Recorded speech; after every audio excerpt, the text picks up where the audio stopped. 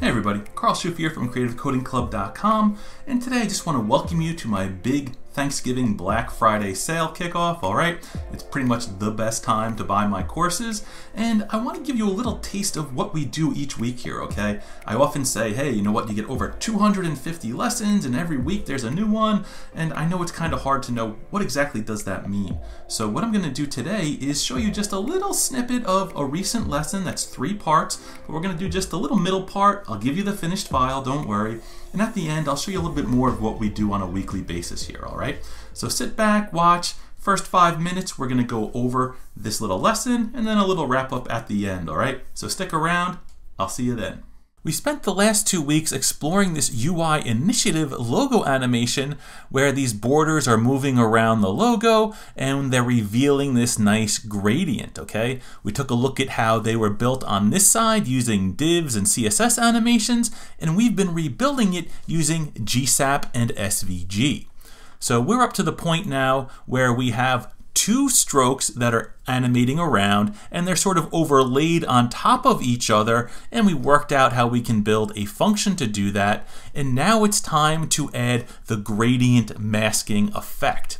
Now to do that, we're going to highlight a really cool feature of Boxy SVG, which allows us to open up an SVG from code in our clipboard.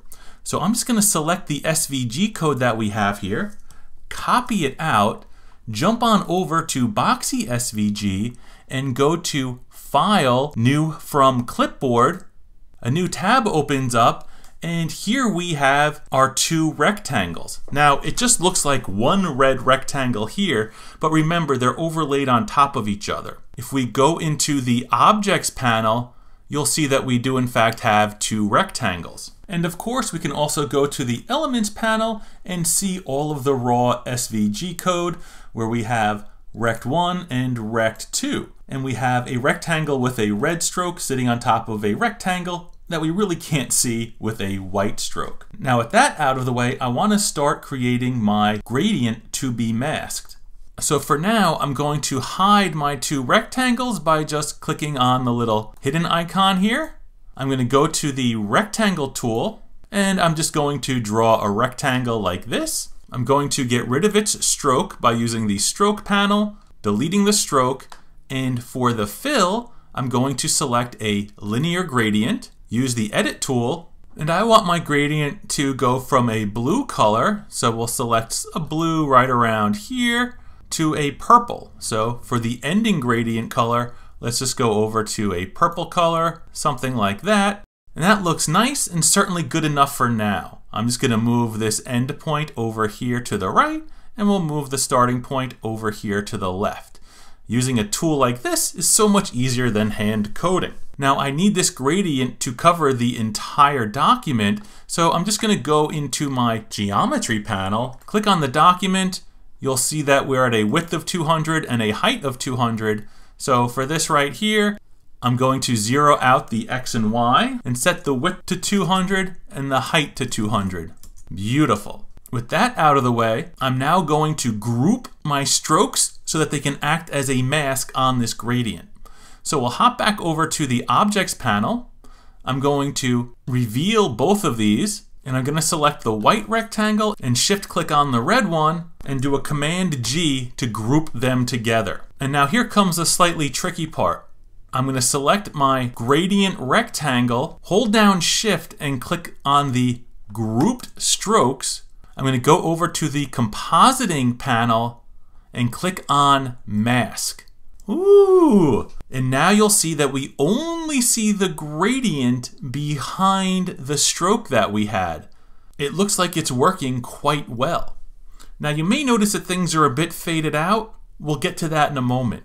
For now, I'm just going to select the code in the Elements panel by right-clicking and selecting Copy Outer SVG. I'm going to hop back into my CodePen demo. I'm going to get rid of all of the code that we had before and paste in the new SVG code. And now we have the gradient reveal, all right? Isn't that beautiful? The answer is yes, but you may notice that things do seem a little bit faded out. Well, the reason for that is that when we're using a mask, it really depends what colors are in the mask. When dealing with masks, pixels behind white shapes will come through at 100% opacity. So what we want to do is make sure we don't have white and red, all right? That red stroke isn't allowing all of the pixels to come through at their full opacity. So what we're to do is change the red stroke to a white stroke. And now here you go. This is exactly the way it's supposed to look. So we didn't have to deal with any of the JavaScript code at all here. We just did some of the things we've been doing before in Boxy SVG. Everything updates and it looks beautiful. So there's always a case to be made for using a tool like Boxy to edit our SVG stuff to make things like gradients and masks. But if I want to just change around a stroke color, hey, we'll just edit the SVG code. So hopefully you enjoyed this little masking tip, and I want to show you some other things we've been studying in this SVG course and others. Here you'll see this beautiful flower animation by Anya Melnyk. It's absolutely exquisite. And I always tell my students, hey, listen, I'm not a world class designer. I can't make flowers as beautiful as this, but what I can do is show you how to use a tool like Boxy SVG here to design a simple flower like this, how to draw it with all the different art tools that Boxy gives you. And then I can also show you how to animate it on scroll. As I scroll down, you'll see that the SVG comes into view it gets pinned, and then I can scrub through the animation of the different parts of the flower, all right? And I always say if you want to build the fancy stuff, you got to start with the simple stuff. I love little lessons like this motion path follower that show you how to get multiple elements following a path. And then we also go ahead and create something like this, where all the dots are generated dynamically. They're following this blob shape and they're scaling up and down, and we're programmatically assigning colors. It's all stuff I'll walk you through step by step. And another fun lesson we did recently was this simpler isometric animation that used some SVG masking and sort of focused on the GSAP timeline sequencing fundamentals. Again, I want all my students to be able to look at something like this and know how they would design it and code it. And I love exploring sites like this DevEb site where we have content pinned on the right and content that scrolls on the left. And as we scroll, the content on the right sort of gets revealed with a mask effect. And when we're all done, the pinning is going to stop and we'll see the rest of the page. Now with effects like this, you have to build it so that it works in this sort of desktop mode and of course, we also need to make things responsive. So you'll see that as this window gets smaller here, we scroll down, all of these projects are going to be in a single column, all right? Now again, I'm not a pro designer and I like to keep things simple, so I'm gonna build something like this for you where the layout is dead simple with just a few elements and we can still get the same basic effect with quarter of the CSS and HTML so we can really focus on the GSAP code and scroll trigger. And yes, I'm going to show you how to make your layout like this responsive so that when we go down to a smaller screen, it will automatically adjust to a single column. And when you go wide again, you're going to get two columns, all right? Awesome. And to wrap up, here's a lesson that combines scroll trigger with draw SVG, okay?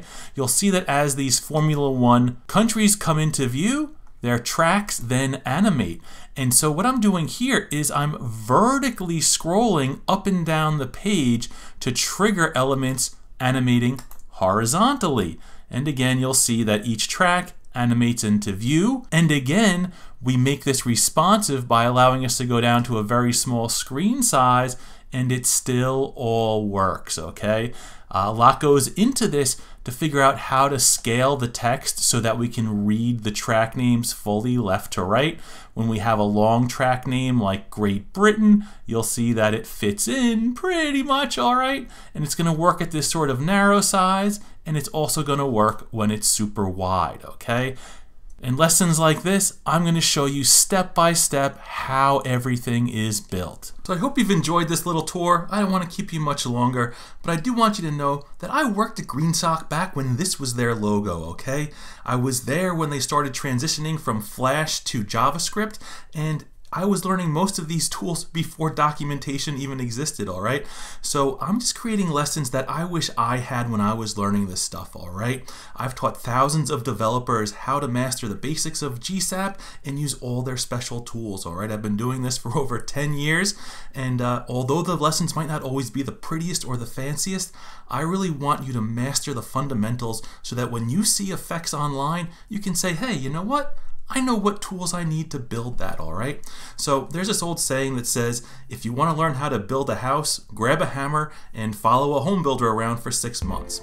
Well, through my Creative Coding Club courses, that's basically what I'm allowing you to do, okay? I want you to jump in, do the lessons just a little bit each week, and you'll have an opportunity to see just how I would build these things, all right? I'll show you step by step. We'll look at the CSS, the HTML. I'll teach you some basic JavaScript tricks along the way. You don't have to be a front end expert for this stuff, all right? I'm gonna keep it simple, but you're gonna be amazed at the results if you put in the time. So I welcome you to check out these courses and discover the joy of animating with code. See you in the club.